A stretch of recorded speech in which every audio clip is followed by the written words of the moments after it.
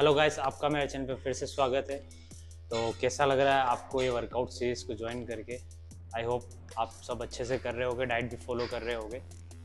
Diet की हम बात करते हैं तो आप एग्स ऑल एग्स जो मैंने दो बताए कभी आप उसकी जगह आप 50 ग्राम पनीर भी ले सकते हैं और एक वाइट की जगह आप वे प्रोटीन भी ऐड कर सकते हैं। कभी कभी आप चेंज करना चाहते हो तो ये प्रोटीन सोर्स के अकॉर्डिंग चेंज कर सकते हैं। तो डे नाइन स्टार्ट करते हैं बैक और बाइसेप के साथ। तो उससे पहले हमें वार्म अप करना है। वार्म अप में हम आज नई चीज़ ऐड करेंगे पुलअप्स ऐड करेंगे। अगर आपकी स्ट्रेंथ अच्छी है तो आप फुल बॉडी के साथ कर सकते हो। या फिर मशीन का सहारा लेके भी कर सकते हो। मशीन आती है पुलअप्स के लिए तो आप उससे कर सकते हो। पुलअप्स मशीन में आपको वेट आपके अकॉर्डिंग लगाना है। जैसे आपका वेट है सिक्सटी तो आप सिक्सटी के तो नहीं उठाओगे फिफ्टी फाइव के कर लो तो सिक्सटी माइनस फिफ्टी फाइव हो जाएगा। ठीक है? तो उसके बाद आप पुलअप्स करिए। ये ग्रिप होना चाहिए आपकी वाइट ग्रिप जहाँ से एंगल बेंड हो रहा है। नहीं रखना है, किसी मशीन पे पैर रखने का होता है, इसमें नहीं रखने का। और फिर आप पुलअप्स करिए। वन टू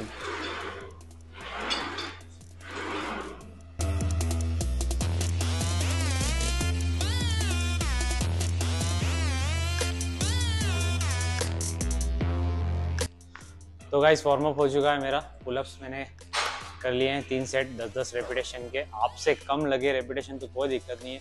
इतनी स्ट्रेंथ नहीं होती है कि अपन दस रेपिटेशन कर सकें। अभी जैसे मेरी स्ट्रेंथ थी तो मैंने दस दस रेपिटेशन कर लिए। कभी पाँच भी लगे, दो भी लगे, कोई बात नहीं। धीरे धीरे ही इंक्रीज होती है स्ट्रेंथ तो हमारी फ़र्स्ट एक्सरसाइज होने वाली है लेट पुल डाउन इसके अंदर हम धीरे धीरे वेट बढ़ाएँगे। आज हम चार सेट करेंगे लेट पुल डाउन के। तो स्टार्ट करते हैं।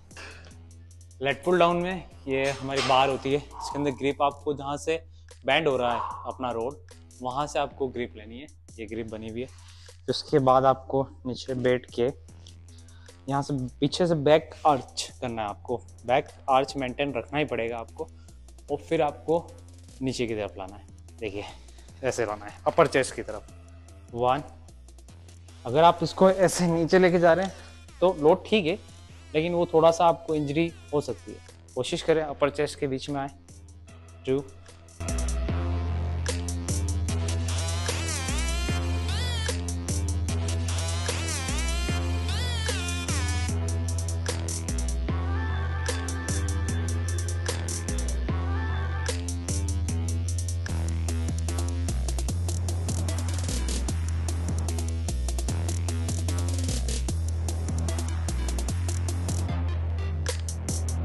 लेट पुल डाउन के चार सेट हो चुके हैं। एक ही वेट पे मेरे को चारों सेट करना पड़े, थोड़ा हेवी लगा मुझे।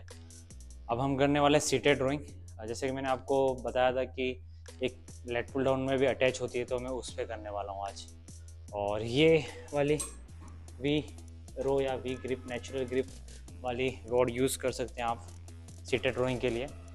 काफ़ी अच्छा लोड आता है। तो स्टार्ट करते देखते कैसे करना है। जैसा कि मैंने आपको पहले ही बताया था थोड़ा डिस्टेंस होना चाहिए आपका केबल से और आपका जो वेट है, उससे थोड़ा डिस्टेंस अच्छी रहेगी, ज़्यादा लोड आएगा। ठीक है? ये आपको ऐसे पीछे ले लेना है। बैक आउट शोल्डर पीछे। जितना आगे जा सकता है, जाना है। लेकिन ऐसा नहीं आपको कुप पीछे करना है। आपको बैक आर्च रखना है एंड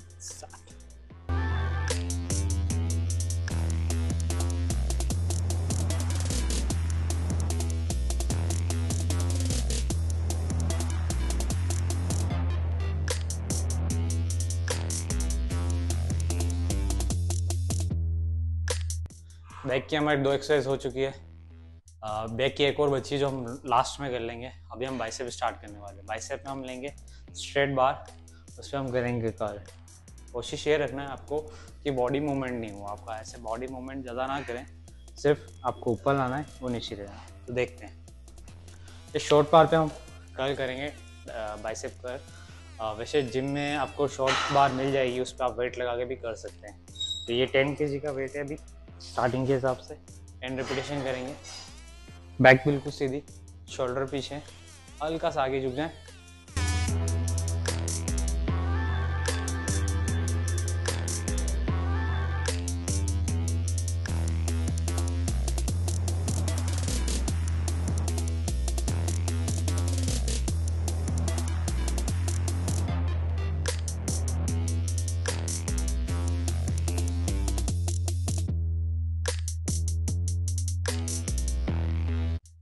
बाइसेप की सेकंड एक्सरसाइज होने वाली है केबल पर रिवर्स कर पहले भी हमने ये करा है, वापस हम रिवर्स कर्ल करने वाले हैं। काफ़ी अच्छी एक्सरसाइज है, मुझे पर्सनली बहुत पसंद है ये भी। आपके फोर आर्म्स पर अच्छा लोड आता है इसका।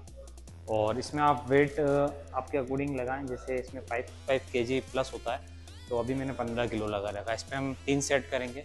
अगर पंद्रह किलो पे मेरे अच्छे रेपिटेशन आते हैं और मेरा मूवमेंट ज़्यादा नहीं हो रहा है बॉडी का तो मैं और वेट बढ़ाऊँगा। बाकी मैं उसी वेट पे नेक्स्ट सेट भी करूँगा। तो स्टार्ट करते हैं।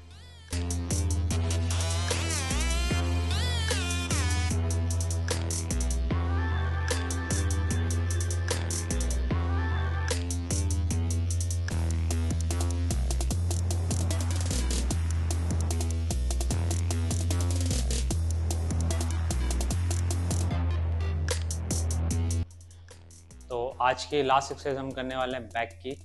जो हमारी लास्ट बच गई थी बैक की, वो हम करने वाले हैं हाइपर एक्सटेंशन एक ये हाइपर एक्सटेंशन की मशीन है। इसमें हमको क्या, कैसे करना है?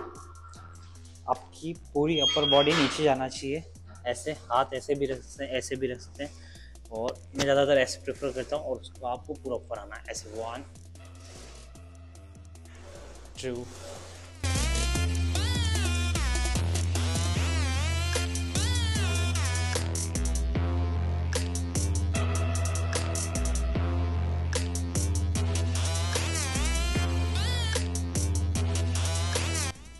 तो गाइस आज का वर्कआउट हमारा कंप्लीट हो चुका है, जिसमें हमने तीन बैक की करी और दो बाइसेप की करी। ज़्यादा ज़्यादा वर्कआउट भी नहीं करना है। अभी हम बिगिनर के हिसाब से ही वर्कआउट को डिज़ाइन करा है हमने तो कि आप आसानी से कर भी सको और आपके अंदर इम्प्रूवमेंट धीरे धीरे आते रहेंगे। तो मिलते हैं नेक्स्ट वीडियो में, और स्ट्रेचिंग करना ना भूलें आप रोज़ स्ट्रेचिंग करें। स्ट्रेचिंग के लिए भी एक सेपरेट वीडियो में डाल दूँगा कि कैसे स्ट्रेचिंग करना चाहिए। शॉर्ट्स वीडियो में डाल दूँगा, ताकि आप वहाँ पे जाके चेक कर लेना। तो मिलते हैं कल।